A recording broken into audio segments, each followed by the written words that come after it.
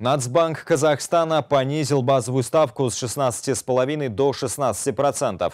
Инфляционные ожидания при этом высокие, а снижение самой инфляции зависит от многих факторов, заявили в национальном регуляторе. Между тем, свое опасение сложившейся ситуации на финансовом рынке высказывают депутаты Мажилиса, особенно по части потребительского кредитования и долгов по нему населения. Ждут ли нас высокие цены и какие депозиты выбрать на будущее, расскажет наш наш корреспондент.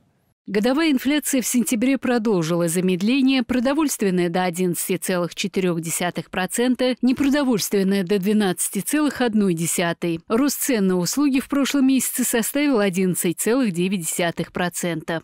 Что касается месячной инфляции, она составила в сентябре 0,6% и продолжает формироваться значительно выше и исторических значений, и нашего таргета. Несмотря на стабилизацию, показатель находится на уровнях, превышающих таргет. В этих условиях э, говорить об устойчивом тренде на снижение инфляции мы считаем э, рано. Инфляционные ожидания на высоком уровне, при этом наибольшую обеспокоенность вызывают цены на ком-услуги и ГСМ. Еще на принятие решения по ставке повлияли тенденции во внутренней экономике. За январь-август она выросла на 4,9%, растут деловая активность и производство товара. Потенциальным проинфляционным фактором, как уже отмечалось, э, могут являться ожидаемое снижение урожая пшеницы и связано с этим возможный рост цен. Полагаем, что соответствующим ведомствам следует держать данный вопрос на плотном контроле. Третий фактор принятия решения – внешнеэкономическая конъюнктура. Показатели базовой инфляции в мире все еще устойчивы и формируются на высоких значениях, выше заданных целевых ориентиров. Снижение базовой ставки с 16,5 до 16% на население напрямую не отразится, сказал глава Нацбанка. В дальнейшем она может понизиться, это если инфляция будет ниже 10%. Ну а пока в Нацбанке рассказывают о финансовой картине в целом, депутатов волнует то, что более 80% населения имеют текущие займы. В США, например, всего 20% и указывают на проблему закредитованности населения. Полтора миллиона человек имеют просрочку платежей по текущим займам 90 и более дней. Кабальные условия банков второго уровня и микрофинансовых организаций загоняют народ в долговую яму. Деятельность микрофинансовых организаций не регулируется государством, проценты слишком высокие. В итоге наши граждане сталкиваются с работой коллекторов, судоисполнителей, вынуждены проходить процедуру банкротства. Кажется, банки страны начали забывать, что основной миссией банковского сектора является использование финансовой компетенции для анализа и финансирования бизнеса. Банковский сектор эксплуатирует финансовую неграмотность людей, стимулируя покупать товары, в которых нет нужды. А в результате прибыль банков растет, а у населения экстремальная задолженность, и вот какое решение может быть. Фракция партии «Республика» предлагает внедрить лизинг для физических лиц как более современного финансового продукта для граждан Республики Казахстан.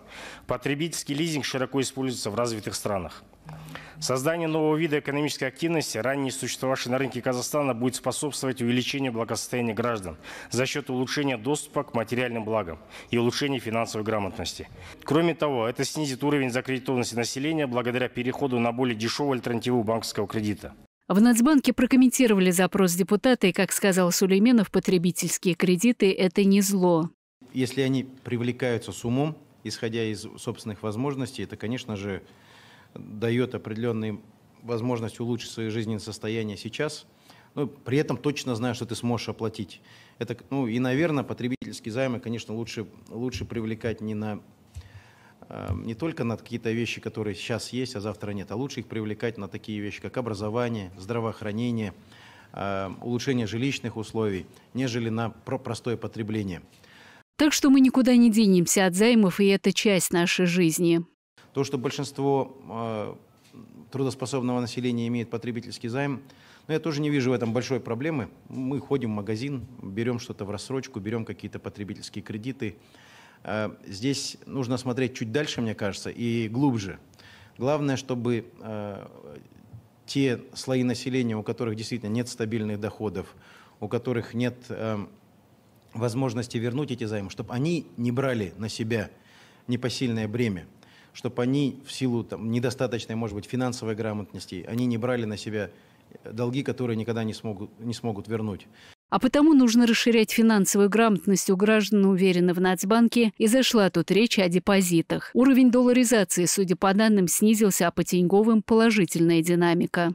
процент э, долларизации составляет 26%. Причем по депозитам физических лиц мы сейчас находимся на 26-летнем минимуме. Депозиты физических лиц в долларах достигают всего лишь 23,8%. Напомним, базовая ставка – это фундамент системы и основной инструмент. Она определяет ставку, по которой банки второго уровня берут в долг у Нацбанка, затем давая займы населению. Снижение даст более дешевые кредиты, но есть и другие факторы. Следующее решение по ставке озвучит в ноябре. Гульнару Марва, Ахмедиар Ильясов, ТДК-42.